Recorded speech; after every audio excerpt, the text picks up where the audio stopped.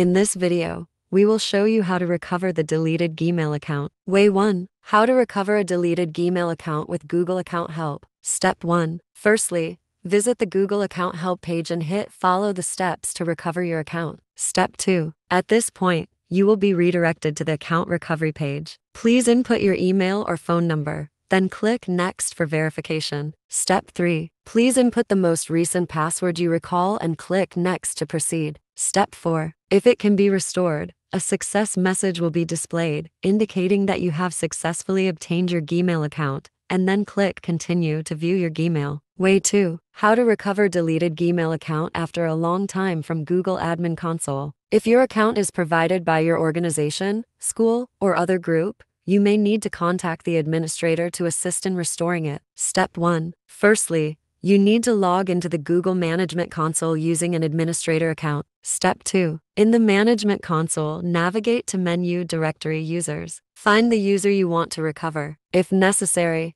the search function can be used to locate users. Step 3. Point the mouse over the user, then click on More Options and select Restore Data. You can also find this option on the left side of the user account page, located under More. Step 4. The date range for selecting the data to be recovered must be within the past 25 days. Step 5. Choose the type of data to recover, which is Gmail. Then click Restore Data to start recovering the deleted Gmail account.